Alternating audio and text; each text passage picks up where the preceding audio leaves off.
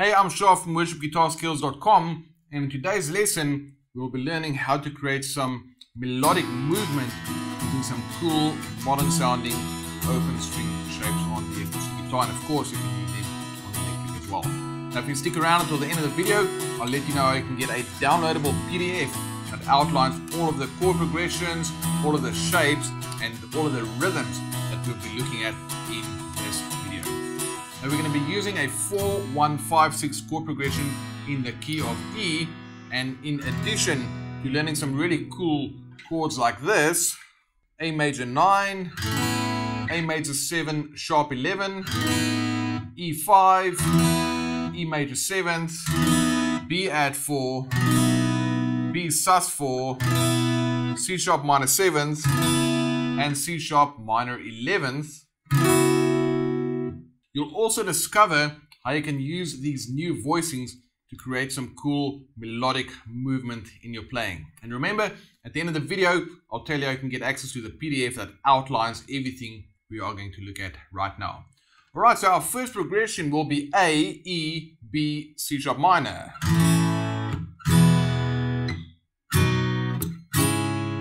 All right, so those chords are cool, but what if you want to spice them up a little bit?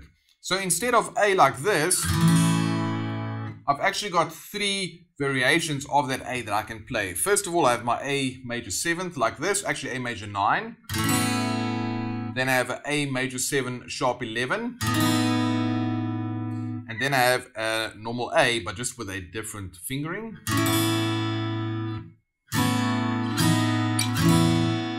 And then instead of E like this, I can play an E5 up here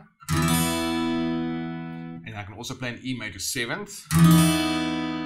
Instead of a B bar chord, I can play B sus 4 or B add 4.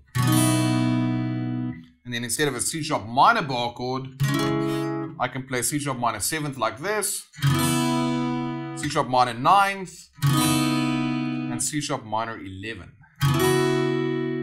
Alright, so now with these new chord shapes and a basic strumming pattern, this is what this progression will sound like.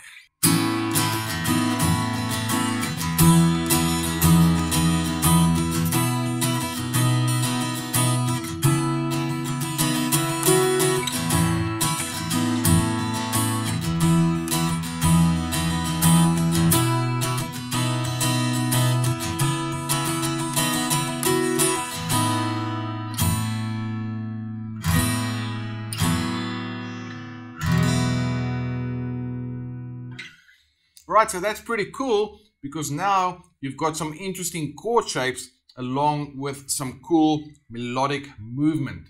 So the next time you're playing a progression in the key of E making use of these typical 1, 6, 4, 5 chord shapes, try adding some of these melodic movement shapes into your playing just to spice things up a little bit. So I really hope you enjoyed this lesson and that you learned something cool. And like I said in the beginning, if you'd like to get a PDF download of this lesson, just click the link in the description box below.